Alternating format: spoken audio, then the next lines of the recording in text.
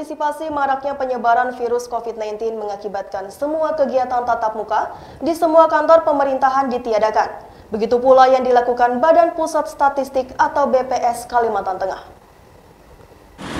Sensus penduduk online yang dilaksanakan sejak tanggal 15 Februari sampai hari ini, 31 Maret 2020, masih tetap berlangsung.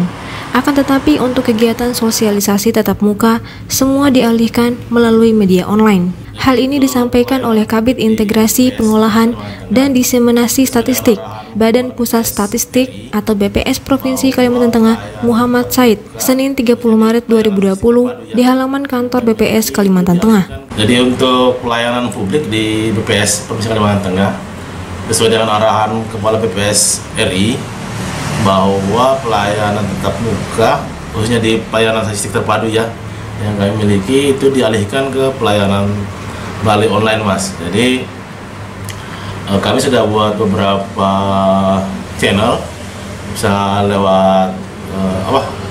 Ya channel ya. Bisa uh, melalui Facebook bisa melalui Instagram juga bisa melalui Simentasi Cantik WhatsApp juga kami ada dan di website kami juga ada fasilitas fasilitas chat situ jadi masyarakat pengguna layanan kami bisa uh, terhubung ke sana seperti itu. Jadi staf-staf uh, pelayanan akan selalu siap membantu selama uh, apa, apa adanya pandemi ini. Nah, itu kami sebarkan melalui sosial media mas. Jadi karena untuk pemasangan apa penyampaian lewat spanduk segala macam itu kan nggak mungkin lagi sekarang ya. Seperti, jadi kami sampaikan melalui dari Facebook, Instagram seperti itu. Jadi kami sampaikan di sana. Uh, jika masyarakat memang membutuhkan layanan layanan statistik bisa terhubung ke seperti saya tadi bisa WhatsApp, bisa Instagram, bisa apa Facebook tadi. Kalau namanya kendala wabah ini dan kendala pasti ada dan kami coba sebenarnya meminimalisir sih kendala tadi. Jadi uh, pertama ya terkait dengan presensi pegawai. Uh, kami sekarang menggunakan aplikasi Gaizala namanya.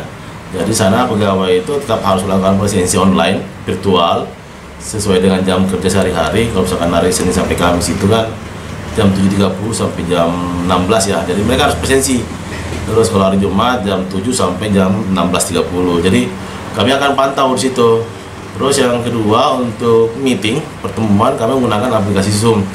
Jadi eh, kami bisa meeting eh, dengan teman-teman se provinsi Kalimantan Tengah atau sedang kabupaten kota. Seperti tadi pagi kami ada meeting dengan 80 orang ya peserta itu seluruh kabupaten kota eh, jadi peserta dengan provinsi.